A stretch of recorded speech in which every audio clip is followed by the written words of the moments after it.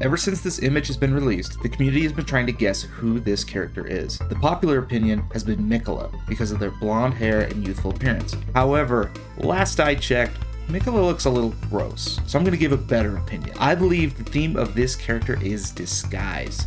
Even if this were Miquella, they have a connection to disguise being the same character as St. Trina, but not publicly known as this. However, other characters can use disguises as well. If we look at other demigods known for disguise, we can see Morgott using a disguise outside of Leyndell. Who else uses a disguise? But Godrick leaving Leyndell. We can see this described in the Mimic Veil. The Grafted look up to Godrick, and they also use disguises. Now, the interesting thing here is what they choose to disguise as. What else would they disguise themselves as but the Crawdaddies? They recognize how the Crawdaddies are also masters of disguise. Look at how hidden this one is behind this bush.